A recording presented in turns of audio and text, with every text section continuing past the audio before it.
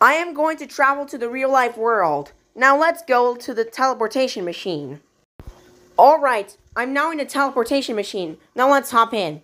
Yeah! Where am I?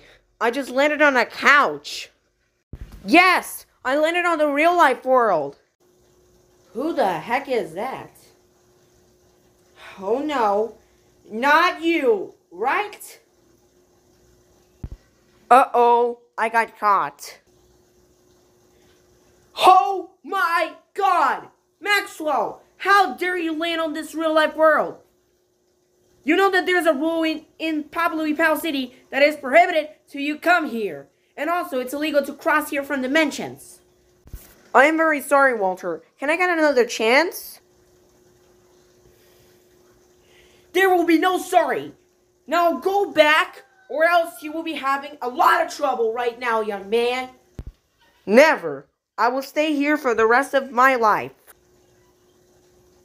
Oh, you don't want to go? Ah. Alright, let's go. Here we goes nothing. Oh my god, Maxwell, how dare you go to the real life world?